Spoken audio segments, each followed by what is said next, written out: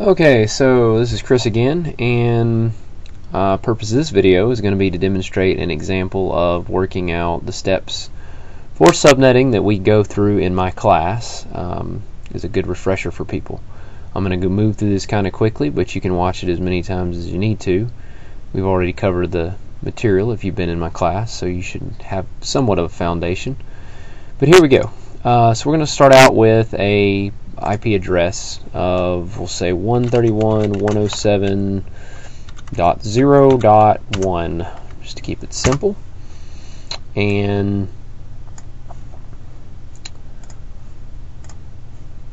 up the font a little bit there for you. And a CIDR, cedar, CIDR, whatever you want to call it, of slash 22. Okay. Now, um, that being the case, the first thing we're going to work out on this is to figure out what the subnet mask would be if that was the address you were working with. Now, to do that, the, the key is to make your subnet mask match up with your CIDR here, which is a 22, and we know that in binary, 255 equals 8 binary 1s, so you want to start out by plugging as many 255s in until you can't plug any more in, and then you're going to use the chart. So here we go. The, the first octet is going to be 255, which that gives you a total of 8 ones so far in binary. Uh, you got to get to 22. Then you can plug another 255, which gives you in another 8 bits, and that gives you 16 bits so far. So you're at 16. You can't plug another 255 in because that would go over the 22.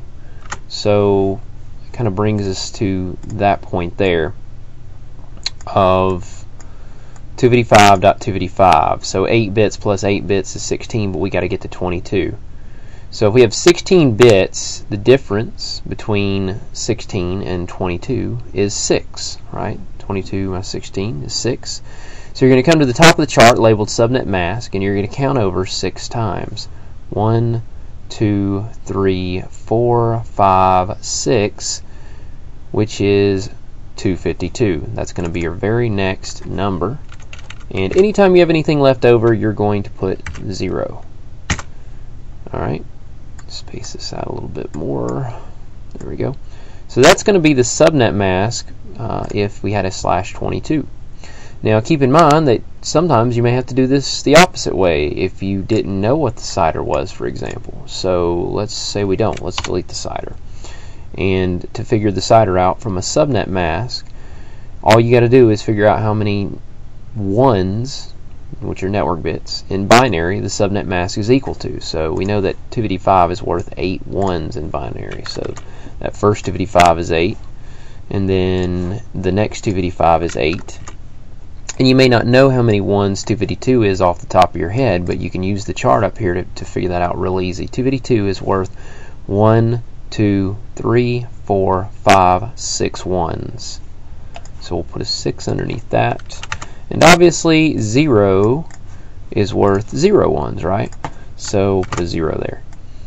Okay, so add them up. 8 plus 8 is 16, plus 6 is 22. So your CIDR is going to be slash 22.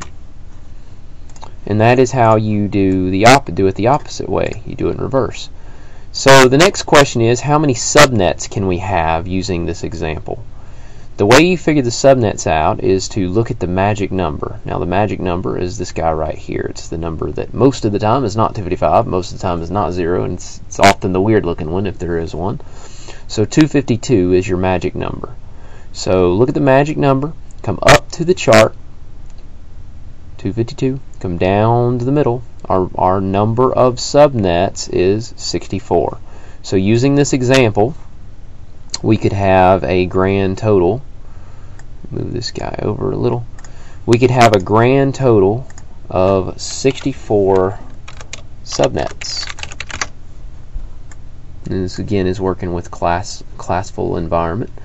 And the next question is how many hosts per subnet. That's how many IP addresses we would have on each one of those uh, 64 subnets. So to do that, the easy way, uh, in my opinion, do it, or the way I demonstrate in class, is to, um, if 22 is equal to the network bits, put a 32 above that. There are 32 total bits in TCP IP4 to work with. So then all you got to do is a little math problem, just subtract it. 32 minus 22 is 10. So we will put 10 there. And then the next step is to work a formula out. The formula for working out the number of hosts per subnet is 2 to the power of h. Some people say n, whatever floats your boat, minus 2 equals. Okay? So 2 to the power of h, and you could say n there if that's what you want. You can.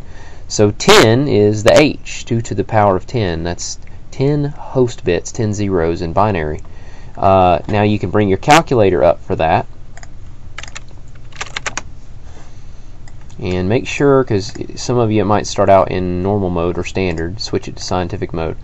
And you're going to click 2 xy 10 minus 2 equals and you get 1022 hosts per subnet. So 1022 hosts per subnet, which is way more than you normally put on a subnet, but the point is to show you the math here. So 64 subnets, 1022 hosts per subnet. So each subnet would have its own set of addresses. Let me clean, clean the screen up a little bit here.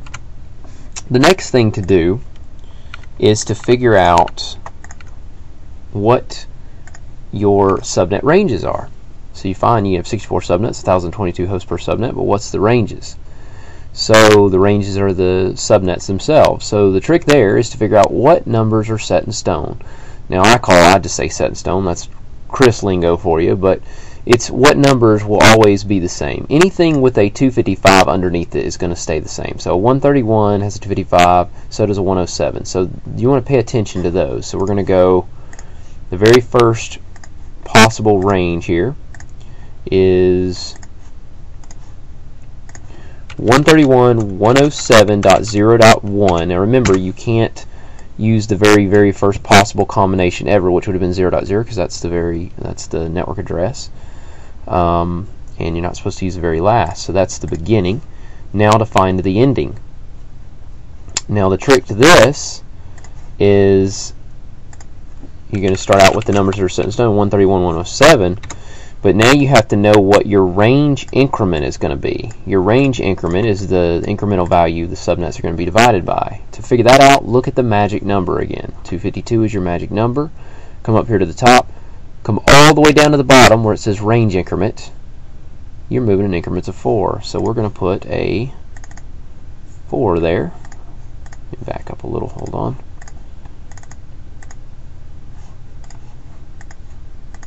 There we go. We're going to put a, well, we're not going to put a 4 there, actually, I'm sorry. We start with 0, so you're going to end with 3. And if you count on your fingers, 0, 1, 2, 3, you're going to find that's actually four numbers. So since we start with 0, we end, we end with 3. So 3.254. You can't end with 255 because you can't use, you're not supposed to use the very last possible combination. The very first, very last, which is why you do the minus 2 over here.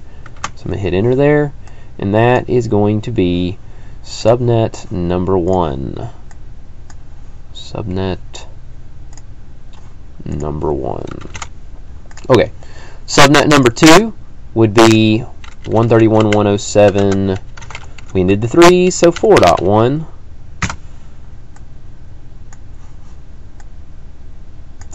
Through 131, 107, 7.254. Do it on your fingers. 4, 5, 6, 7. That's four numbers. Moving in increments of 4. Alright, that is going to be subnet number 2. Subnet number 3 is going to be 131.107.8.1 because you ended all the sevens. Not doing too good at lining my stuff up here. Um, through 131.107.11.254. And that is going to be subnet number 3. And of course, there are, as I said a second ago, a total of 64 subnets. So you could do this 64 total times. Alright, I hope this helps. Uh, you guys uh, probably create another one of these. Um, remember to keep watch for any updates I have for you on twitter.com slash instructorchris and uh, youtube.com slash instructorchris123. And stay tuned for more.